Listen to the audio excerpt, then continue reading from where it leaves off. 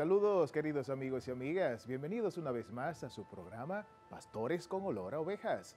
Muchas gracias por el favor de su sintonía. Hoy conversaremos con todos ustedes sobre el Evangelio que la iglesia proclama en esta fiesta de la transfiguración del Señor. También vamos a hablar un poco del valor de este mes, el valor de la honestidad, tanto en la política como en la vida profesional. Y vamos a ver algunas incidencias de la Jornada Mundial de la Juventud que se desarrolla en esta semana en Lisboa, Portugal, con el Papa Francisco y representaciones de jóvenes de todas partes del mundo. Y también vamos a hablar de las actividades de esta arquidiócesis del Santo Domingo y de la Iglesia Universal. Bienvenidos a Pastores con olor a ovejas.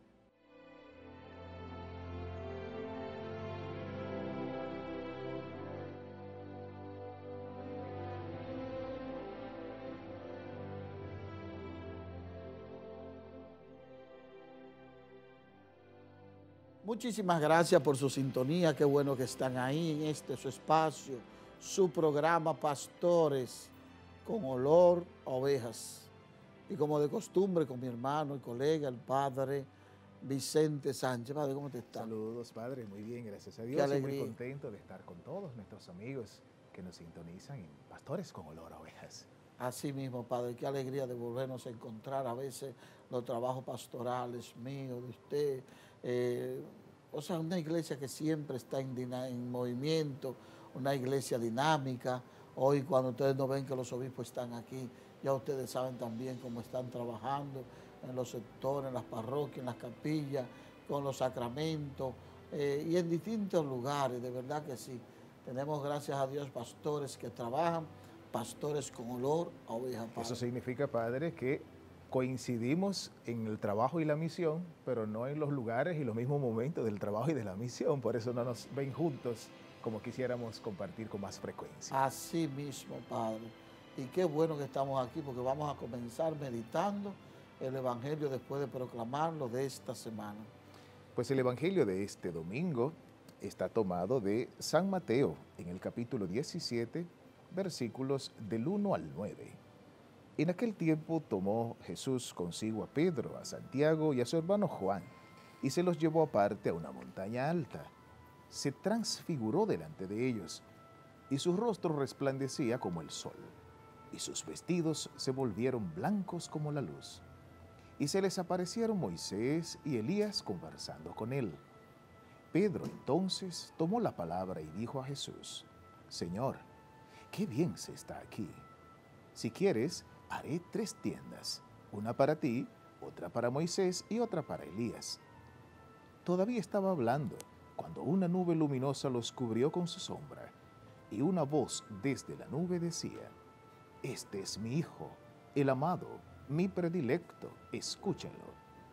Al oírlo, los discípulos cayeron de bruces llenos de espanto. Jesús se acercó y tocándolos les dijo, Levántense, no teman. Al alzar los ojos no vieron a nadie más que a Jesús solo. Cuando bajaban de la montaña Jesús les mandó, no cuenten a nadie la visión, hasta que el Hijo del Hombre resucite de entre los muertos. Palabra del Señor. Gloria a ti, Señor Jesús. Bien, hermanos y hermanas, en esta semana el Señor nos presenta esa, ese evangelio de la transfiguración y la fiesta litúrgica de la transfiguración del Señor. Desde que uno escucha la palabra transfiguración, realmente se transfigura y va a ese monte alto, alto, alto que hay en Israel, de frente al Hebrón ahí. Y en ese, esa colina, vamos a llamarla así, el monte de la transfiguración, es una colina donde realmente se, se vive un momento de armonía, de paz, de serenidad, con una brisa suave, de verdad los pinos, la Basílica de la Transfiguración, la capilla de San Elías, la capilla de Moisés. Y ahí uno vive esa experiencia maravillosa. Pero si se pone a un extremo, ahí se ve también esa vista hermosa de un valle fértil que tiene ese lugar de donde Jesús se ha transfigurado. Y el Señor se, se subió al monte, comenzó a orar, dice el Evangelio, se transfiguró delante de ellos. Y ahí en esa transfiguración Pues también ustedes han escuchado varios personajes, Moisés y Elías, que representan también el Antiguo Testamento, la liberación del pueblo de Israel, y también representa Elías los profetas, tanto mayores como menores. Jesús se transfiguró. Ojalá que el Maestro también nos conceda a nosotros transfigurarnos en hombres y mujeres de bien, transfigurarnos en, y llenarnos de santidad en nuestras vidas. Jesús se transfigura en el monte Tabor, pero no sube solo hasta este monte según narra el Evangelio, sino que quiso llevar consigo algunos testigos y elige a tres de sus colaboradores más cercanos, a Pedro, Santiago y Juan, tres de sus apóstoles, a quien él mismo había ya elegido para seguirlo a él. Ahora él quiere que ellos sean testigos de lo que allí va a ocurrir. Jesús se transfigura, cambia la figura, cambia la apariencia. Ahora ya no ven el rostro de Jesús transfigurado, sino que solo ven una luz resplandeciente que invadió todo el monte, todo aquel lugar donde se encontraba. Y esto sin duda es un signo de la gloria de Dios. Jesús más bien quiere darles un adelanto de su gloria a sus discípulos para que tengan esperanza y fortaleza cuando llegue el momento fuerte de la prueba. Fíjense que en el curso de la vida de Jesús la transfiguración se coloca antes del momento de la crucifixión de Jesús, antes de ser entregado para ser procesado y luego crucificado. Entonces Jesús le adelanta aquí un poquito de la gloria que se manifestará de manera definitiva al final de los tiempos. Y esto le dará fortaleza y esperanza a los discípulos para el momento de la prueba. Por esto es que la alegría de uno de ellos es tan grande que le dice, Señor, vamos a hacer aquí tres chozas, es decir, vamos a quedarnos aquí, aquí estamos muy bien. Este es un lugar de gloria, es un lugar de bendición, aquí no hay problemas. Pero Jesús le dice, no, es necesario que bajemos ahora allí abajo, a Jerusalén, es decir, al día a día, a enfrentarnos con las pruebas, con las dificultades, en donde tiene que ser probada y purificada también nuestra fe en Jesucristo. Nosotros estamos llamados también a vivir esta misma experiencia de la transfiguración, dejar que el Señor nos llene de su gloria, de su presencia, de su luz, dejar que el Señor nos cambie, que ya no se vea en nosotros un rostro y una apariencia de pecado, sino el rostro, la visión de la gracia que Jesucristo comunica a las personas que abren su vida a Él y se convierten de corazón y creen en su palabra.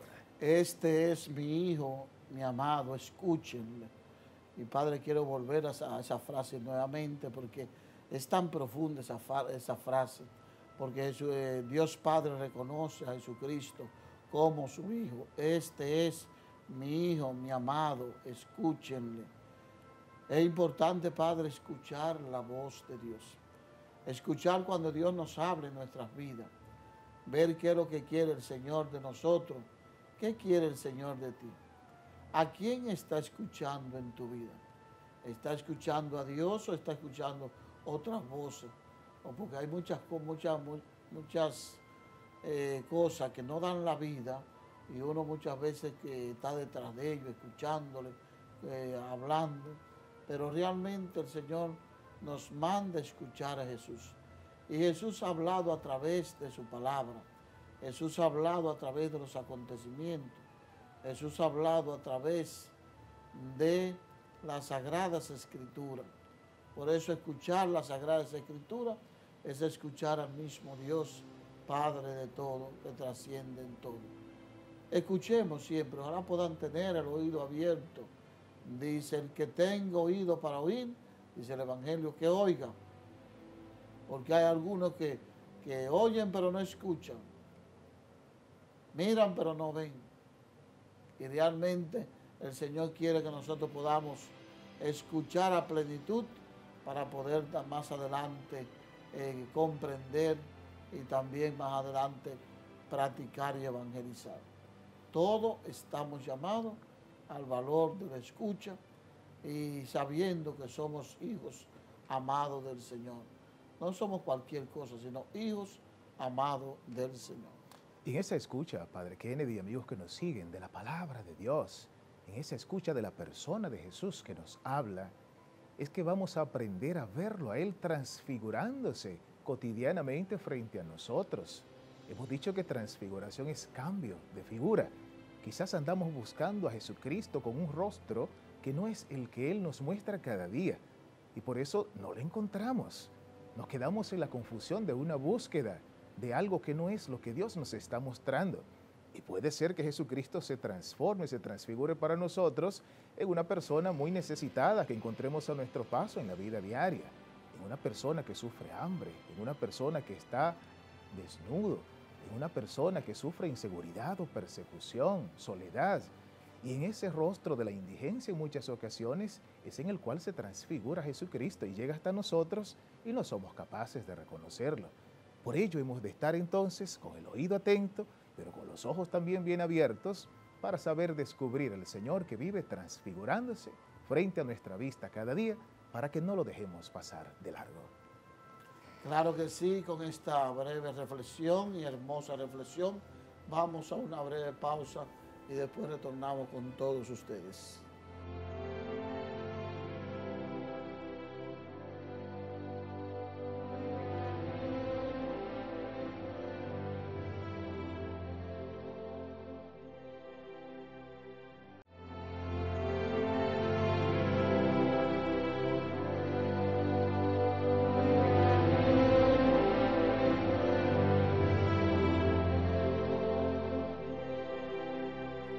Gracias por seguir en sintonía con nosotros, con pastores, con olor a ovejas. En este segundo bloque de nuestro programa quisiéramos abordar, al menos a modo introductorio, el lema y el valor fundamental que siguiendo el curso del plan de pastoral, nosotros vamos a seguir desarrollando y compartiendo en las comunidades en las que vivimos nuestra fe. Y en este mes de agosto, Padre Kennedy, nosotros estamos promoviendo el valor de la honestidad, pero en dos ámbitos específicos. ¿Cuáles son? Claro que sí, ese ámbito en la política, en, la, vida profesional. En la vida profesional. Padre, eh, de verdad que la honestidad, desde que ha salido ese valor para, para analizarlo, estudiarlo, practicarlo, yo sinceramente cada vez que sale ese valor del mes, eh, digo, oye, dan la diana, porque mira, hablar del valor de la honestidad en el mundo político, sabiendo cómo están las cosas ahora mismo en la política, donde precisamente lo que más falta es honestidad.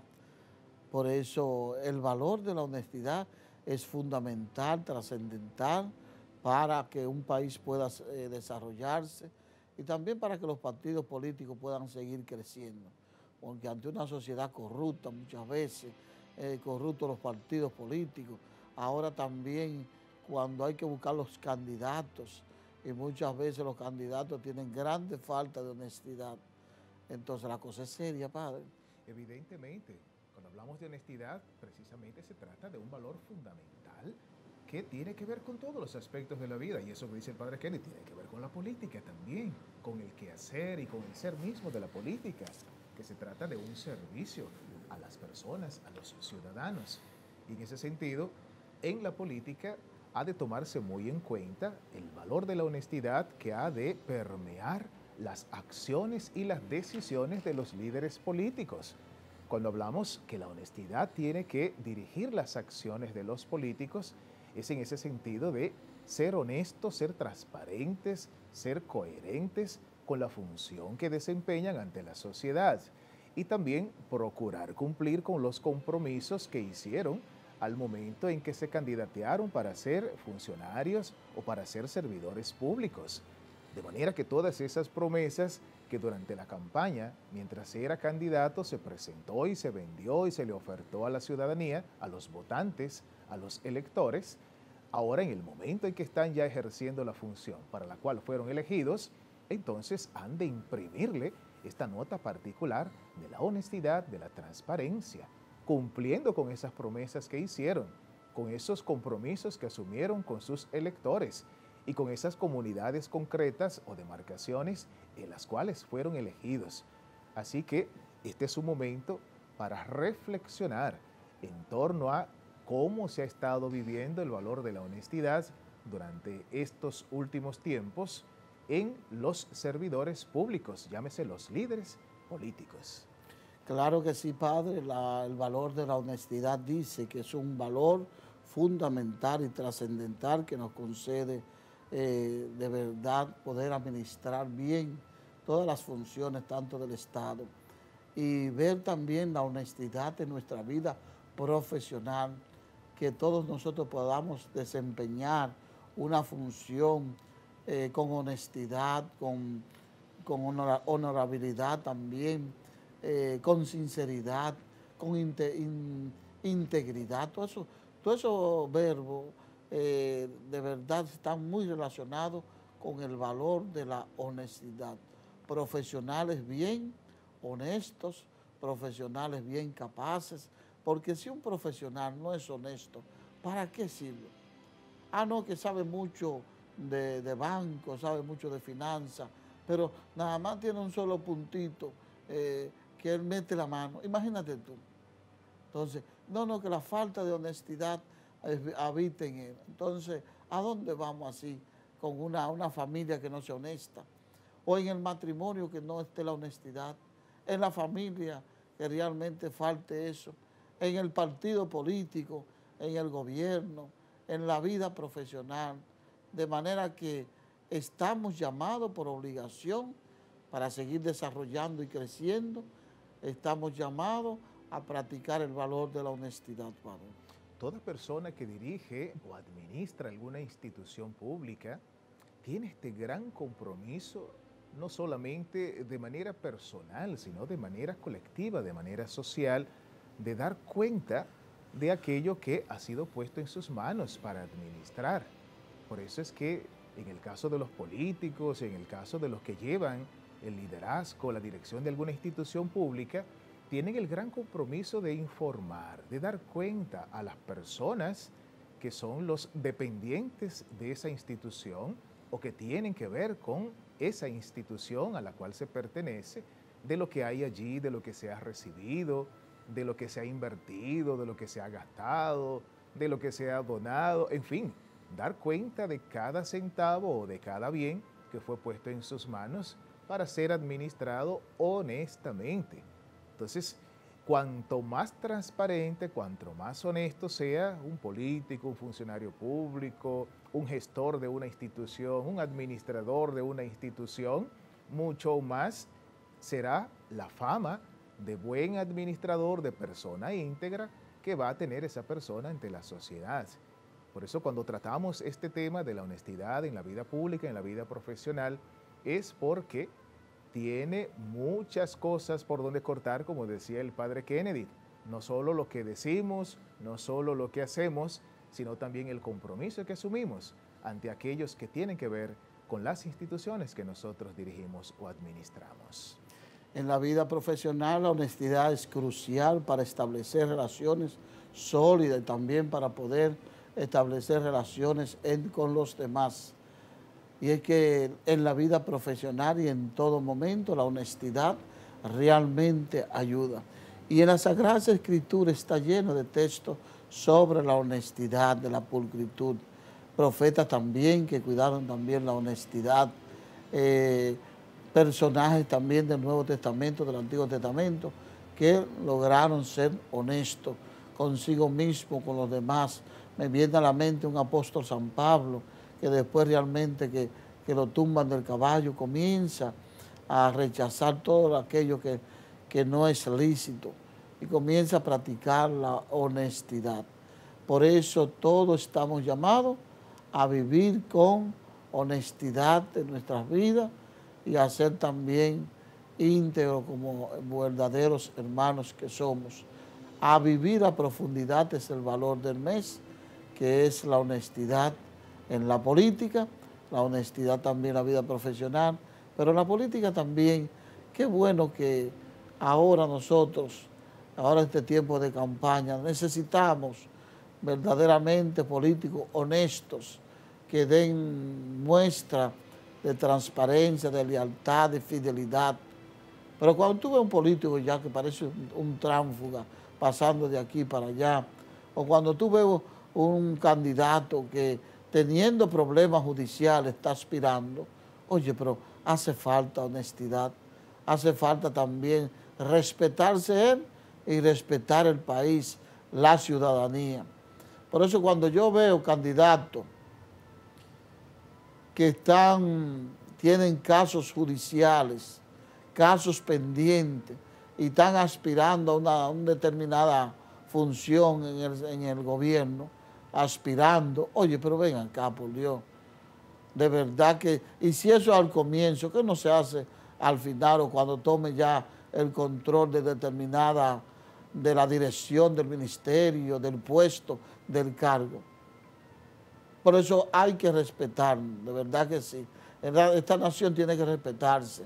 Y ojalá que nosotros como pueblo, como sociedad, como feligresía, podamos también ponerle el frente a eso no dejar que todo, todo fluya así como tan, tiene, toda corrupción que fluya, todo desorden que fluya, todo pecado que fluya. No, no, no, no. Hay que, hay que defenderse de toda esa situación y hay que denunciar también las cosas malas. En ese sentido, Padre Kennedy, esta honestidad que se exige en la vida política no es solamente para los candidatos, para las personas que aspiran a un puesto de servicio público en la política, sino también que implica las instituciones políticas en las cuales se afilian o están afiliados o pretenden afiliarse esos candidatos. De manera que a nivel institucional, en la política, debe de observarse este valor de la honestidad, en el sentido de saber elegir los candidatos que va a postular una institución política a los distintos servicios, a los distintos cargos, a los distintos puestos, definir cuál es el perfil de hombre y de mujer honesto, honesta, que va a presentar esa institución política a los electores para presentar el mejor rostro también de esa institución. Porque si no vamos deteriorando en esto la credibilidad de las instituciones políticas ante los ciudadanos. Si abrimos las puertas de las instituciones a quienes no llenan el perfil mínimo en el tema de la honestidad, ¿cuál es la imagen, cuál es la idea, cuál es el rostro que le estamos mostrando a la ciudadanía de la institución política que queremos consolidar? Entonces todos los partidos políticos en este sentido deberán de tener mucho cuidado al momento de elegir a sus candidatos, a quienes pretenden presentar en las elecciones que se acercan y en las que continuarán en lo adelante, porque nuestro país siempre está en campañas políticas, Padre Kennedy, no se detiene, cada cuatro años, pero los cuatro años lo pasamos siempre en campaña. Así que esto vale mucho en este momento específico en que nuestro país se aboca a celebrar ya estos certámenes electorales, que se elijan los mejores hombres y mujeres que tengan este perfil de honestidad, de pulcritud, de deseo de servir a la ciudadanía y no buscando servirse a sí mismos. Pues claro que sí, con este breve mensaje y esta reflexión sobre la honestidad que tanta falta hace en el mundo político y en el mundo de la vida profesional, pues vamos a una breve pausa y después retornamos con todos ustedes en su espacio Pastores con olor a ovejas.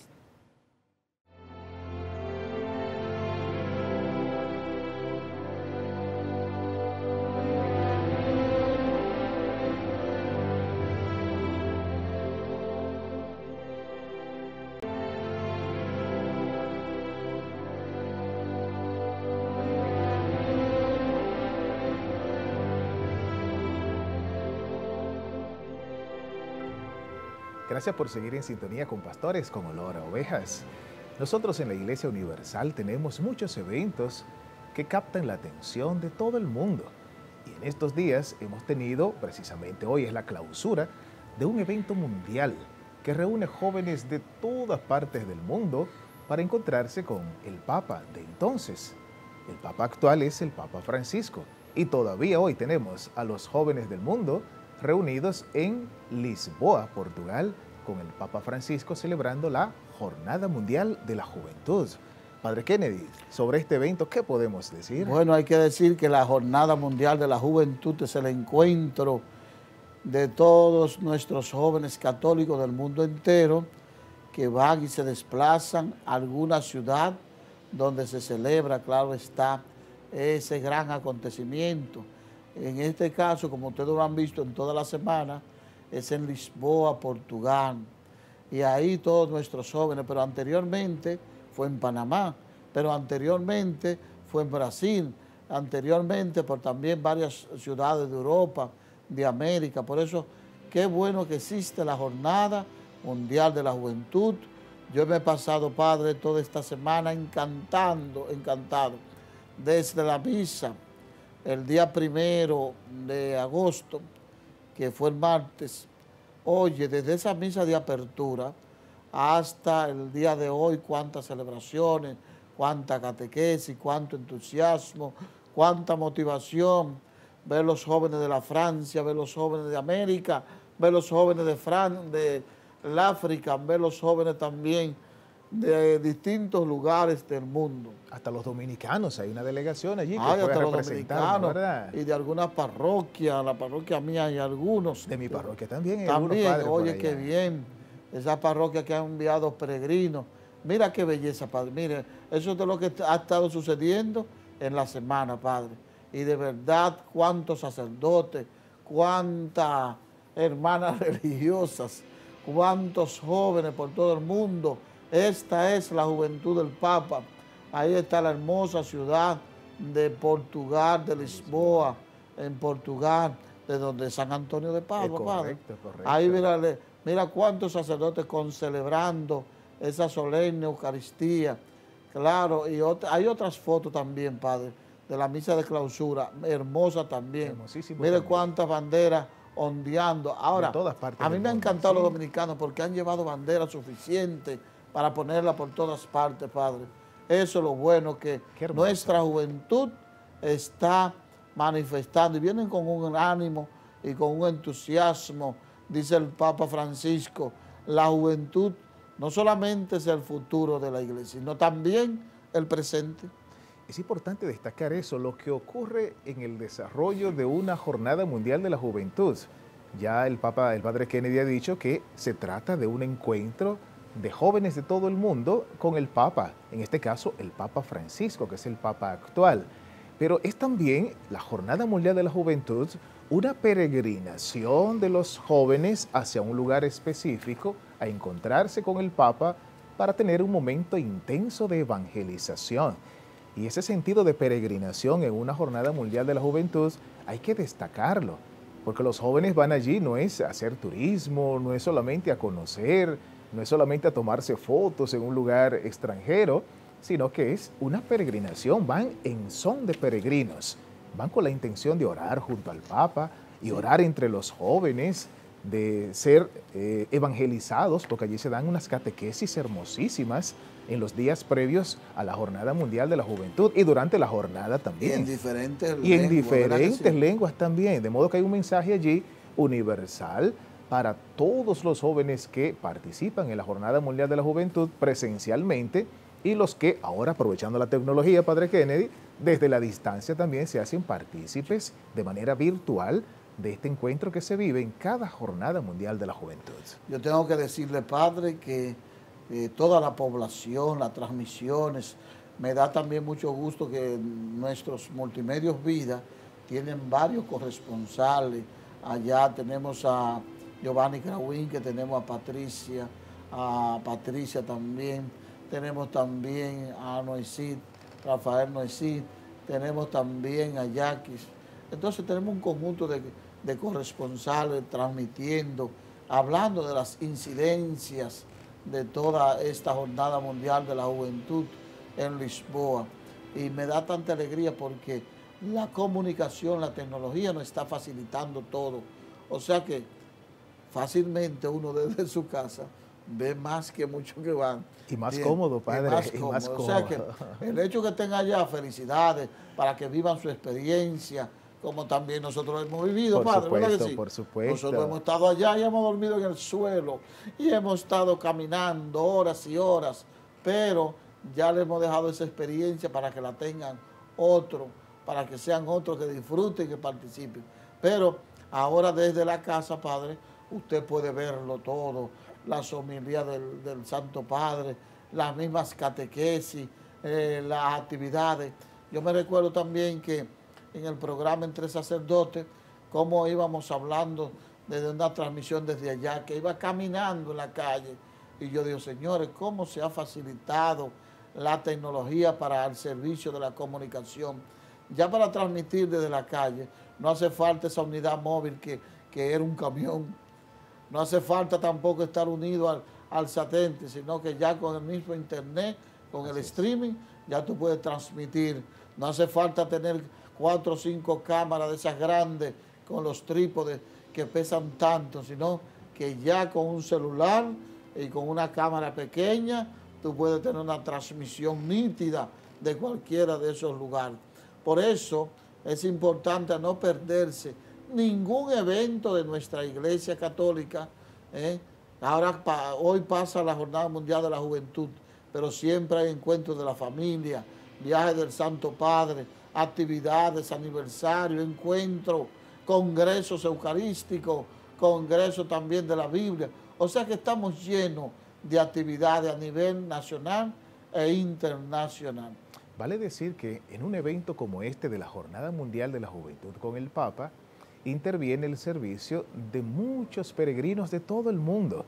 Y esta es una experiencia muy interesante que se vive desde dentro de una Jornada Mundial de la Juventud. Lo digo por la experiencia hermosa que pude vivir en la Jornada Mundial de la Juventud en Cracovia, Polonia en 2016 y también en Panamá en el 2019. Fui parte del equipo de voluntarios, jóvenes comunicadores de distintas áreas de la comunicación que se ponen al servicio de la iglesia que organiza este evento a fin de que cada experiencia que se viva en la Jornada Mundial de la Juventud sea comunicada, sea transmitida, sea vivida y que la gente a la distancia pueda también pues enterarse de lo que pasa allí. Entonces, hay todo un equipo de voluntarios de todas partes del mundo, de todas las lenguas, de todas las culturas, que previo a un evento como este se ponen al servicio de la iglesia para un determinado servicio que se le asigna dentro del desarrollo de la Jornada Mundial de la Juventud. Como decía el padre Kennedy, a uno le toca ir con una cámara para poder transmitir. Otros son los que están frente a las cámaras con un micrófono comunicando las experiencias de lo que pasa allí.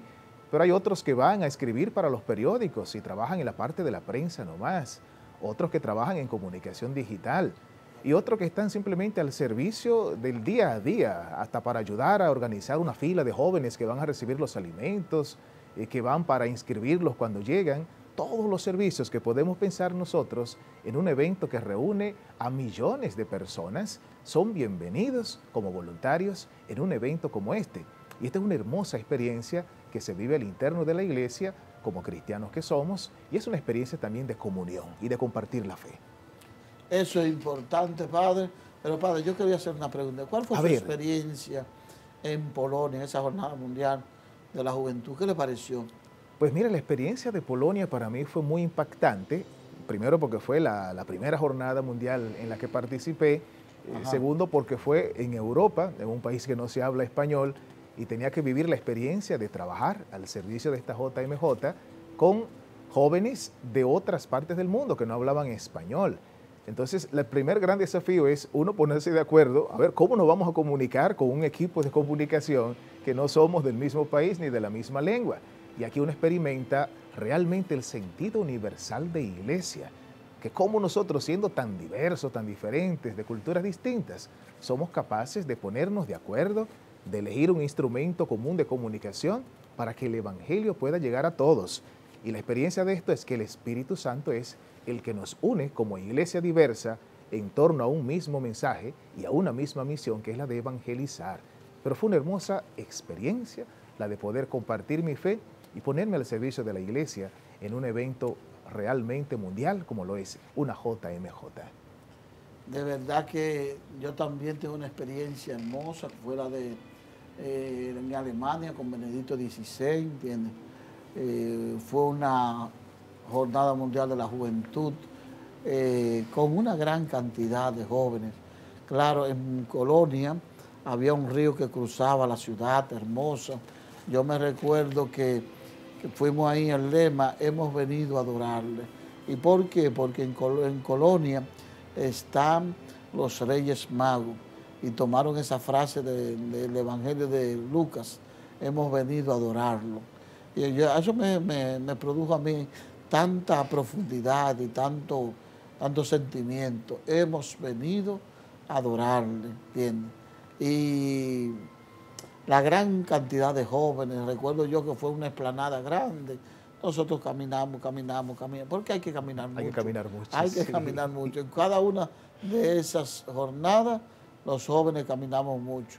Y como somos, somos tantos jóvenes, no hay tantos vehículos, y de verdad que fue una experiencia maravillosa. Pero también usted tuvo una en Panamá, padre, ¿verdad Me tocó la bendición de compartir también en 2019 en la JMJ en Panamá. Y allí sí que tuve una experiencia de mucho impacto para mí como servidor de, de, la iglesia.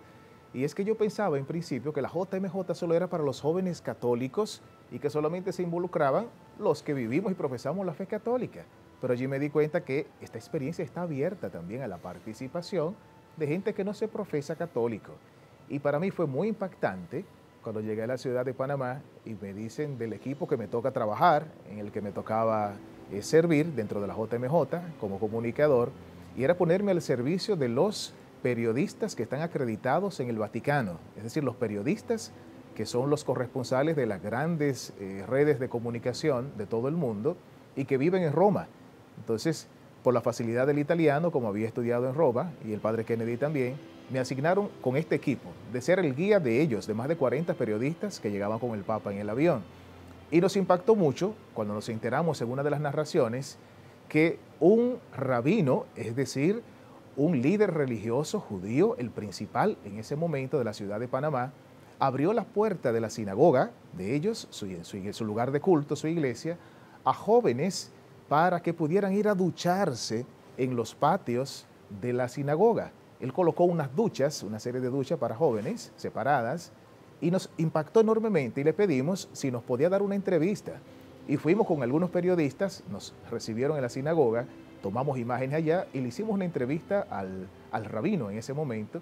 Y él decía que cómo él iba a negarse a recibir a jóvenes que andan buscando a Dios, que vienen de todos lugares del mundo, teniendo allí espacio en su iglesia, aunque no sea católica, para albergar y darle este servicio a peregrinos que venían a orarle a Dios. Además, él decía que era amigo personal del Papa, de manera que tenía una apertura universal a la iglesia, aunque no fuera católico.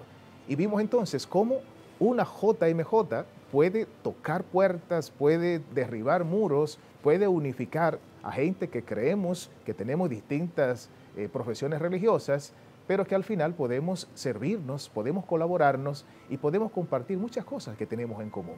De manera que a mí me impactó enormemente esta apertura a la visita del Papa y a estos jóvenes de parte de gente que no eran católicos también. Bueno, pues tengo que decirle, padre, que yo viví otra experiencia maravillosa. Oye, la de España, eh, ahí estuve yo, en Madrid, en 2011.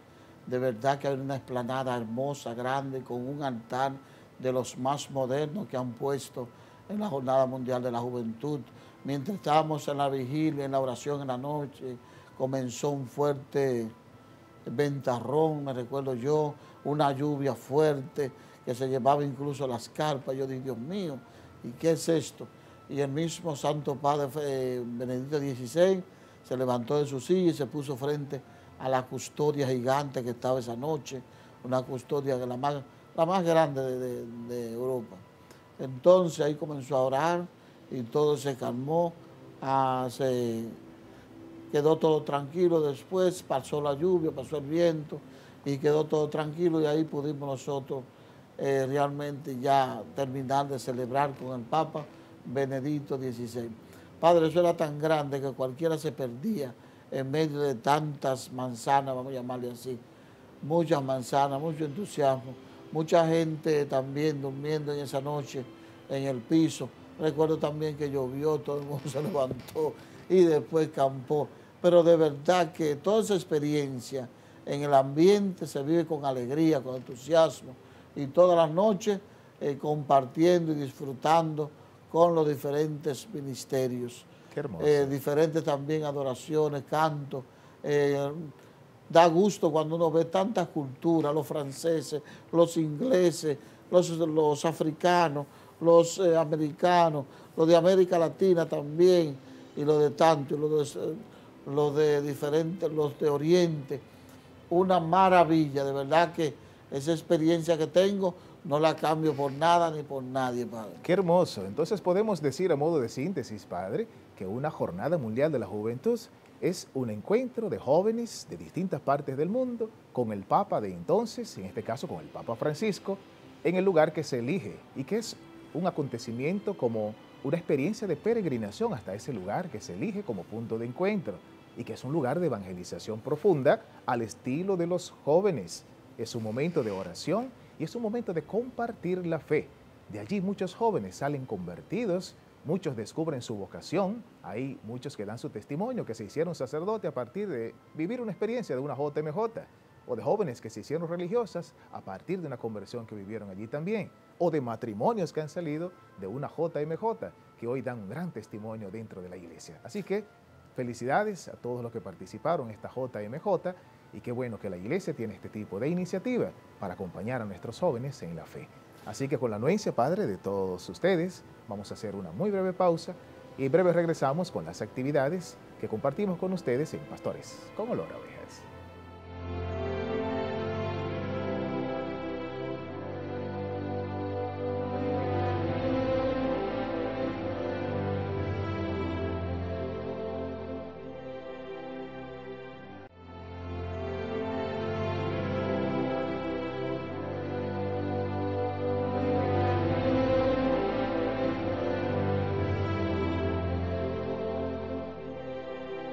De nuevo con todos ustedes, apreciados televidentes, en este su programa Pastores con olor ovejas. Ya hemos vivido varios momentos de verdad y hemos pasado al momento o a esta sesión final que es de la agenda de nuestra arquidiócesis de Santo Domingo, la agenda de los obispos, para conocer un conjunto de actividades que ya han pasado y otras que vienen por delante para que hablemos un poco de ellas. Padre, ¿qué tenemos ahí? Bueno, pues aquí tenemos una serie de ordenaciones diaconales de esta arquidiócesis de Santo Domingo, que a mí me impresiona, ¿verdad? Tenemos acá que la arquidiócesis de Santo Domingo, la obra arquidiocesana de las vocaciones sacerdotales y religiosas, y las familias de la Cruz Sánchez, Díaz de la Cruz, Martínez, de Jesús Correa, Rosario Martínez, Rodríguez Doroteo y Lama Abreu, tienen el honor de invitarles a la solemne ordenación diaconal de sus hijos, Ronald, Germán, Daniel y José Manuel, por imposición de manos y plegaria de ordenación de su excelencia reverendísima, Monseñor Francisco Osoria Acosta, arzobispo metropolitano de Santo Domingo, primado de América, el día sábado 5 de agosto. Ah, pero eso fue ayer, padre. Estamos ya con este grupo de diáconos nuevos, ya son diáconos, ¿verdad? Entonces, en el día de ayer, 5 de agosto, fueron ordenados diáconos Ronald, Germán, Daniel y José Manuel. Así que felicidades para estos hermanos nuestros que ya pues están listos para servir, porque eso es el diaconado, Padre, ¿verdad? Es un servicio. El diácono es un servidor. Felicidades para ellos, para sus familias y también para esta arquidiócesis de Santo Domingo que recibe estos nuevos servidores. Claro que sí, también esos diáconos que van a ser ordenados en la parroquia San Francisco de Asís, en Santo Domingo Este, el sábado 5, algo que fueron ordenados ya. Eh, también el día 12 de agosto de 2023 en la parroquia Jesús Nazareno, Santo Domingo Este. Ah, no, y ese es eh, el buen pastor, donde por imposición de plegaria de ordenación Monseñor Francisco Soria ordenará a Jacobo Lama el día 26 de agosto 2023 la parroquia donde va a estar Jacobo Lama que se va a hacer diácono, candidato al diaconado, ordenación diaconal de Jacobo Lama. Ahí está otro joven de nuestra arquidiócesis que va a hacer ¿Cuántas ordenaciones, padre? Hay un paquete de ordenaciones. Entonces, el sábado 12 también hay otra, padre. Hay otra. Se sembró hace 10 años. Ojalá que de aquí a 10 también estén cosechando. Entonces, el sábado 12 es la ordenación de Jonathan en la parroquia San Francisco de ah, Asís, en Santo Domingo Este. Así que son tres ordenaciones en un solo mes. Qué cosecha tenemos, ¿eh? No podemos quejarnos. el Señor nos ha bendecido. Rodríguez Toroteo. Qué bueno, felicidades. Bueno, le aseguramos nuestra oración a los que ya se ordenaron para que perseveren en este ministerio y nuestra oración por los que se van a ordenar en el resto de este mes, el caso de Jonathan y también de Jacobo. Por ambos, nuestras oraciones y nuestras felicitaciones. Padre, pues siempre al final de nuestro programa, si no hay alguna otra actividad suya. No simplemente invitar a todos nuestros televidentes el día 23 de agosto, miércoles 23 de agosto, 6 de la tarde, la parroquia San Antonio de Padua, un servidor cumple 15 años de haber sido ordenado sacerdote. Ah, Entonces, padre. Gracias, Padre.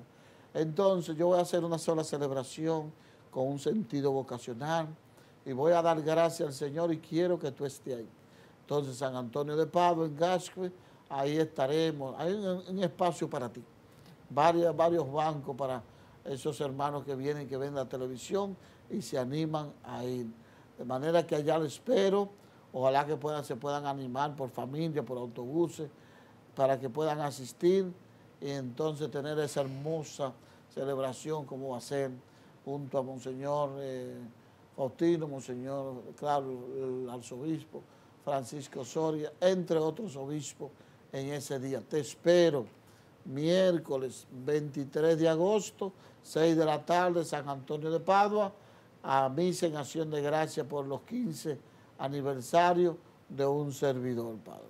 Qué bueno, felicidades, Padre, y que el Señor siga sosteniendo su ministerio y bendiciendo a la comunidad en la que presta servicio también. Bueno, pues al final de nuestro programa siempre la gente espera la bendición.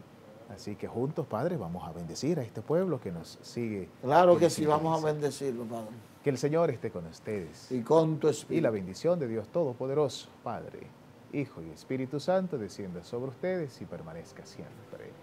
Amén. Muchas gracias por su sintonía y hasta el próximo programa. Bendiciones. Amén.